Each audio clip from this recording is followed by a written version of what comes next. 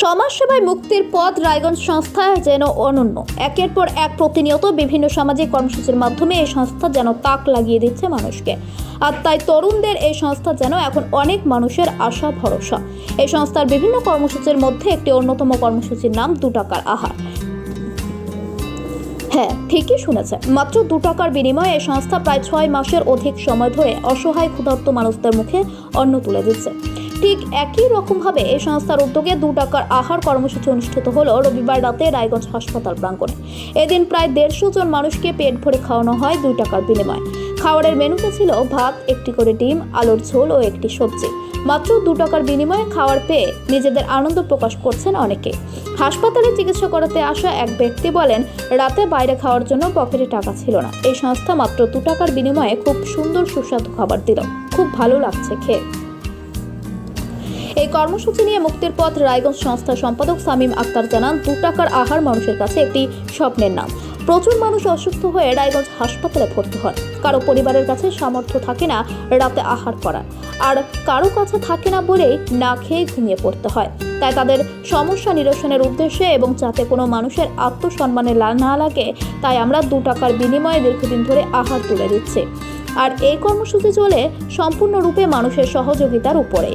তবে বর্তমানে সাহায্যের হাত অনেকটাই কম। এই পরিস্থিতিতে তিনি সরকারের কাছে সরকারি সুযোগ সুবিধা চেয়ে অনুরোধ চেয়েছেন।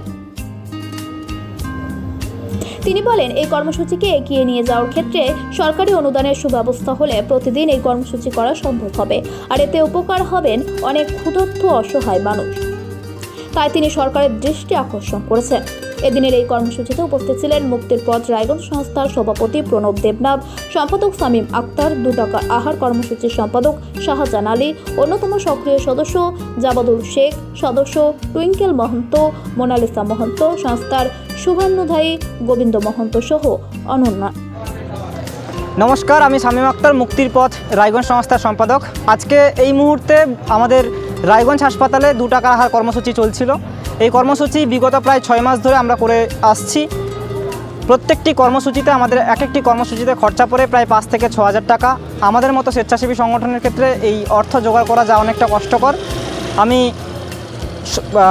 সরকারি যে সমস্ত আধিকারিক রয়েছেন, তাদের সকলের কাছে অনুরোধ করব, সকলের কাছে আমাদের বিনীত আবেদন থাকবে যে আপনারা আমাদের মতো স্বেচ্ছাসেবী সংগঠনগুলোর প্রতি একটু জোর দিন বা দেখুন। যাতে করে আমরা এই ধরনের কর্মসূচিগুলোকে, সামাজিক কর্মসূচিগুলোকে সাধারণ মানুষের স্বার্থে আরও বেশি পরিমাণে করতে পারি।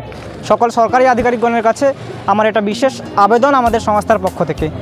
এটা এর ফলে সমাজের বিশেষভাবে মঙ্গল হবে বলে আমরা নিশ্চিত। তাই সকলের কাছে বিশেষ আবেদন। আপনারাও এগিয়ে আসুন সরকারের পাশাপাশি। ধন্যবাদ।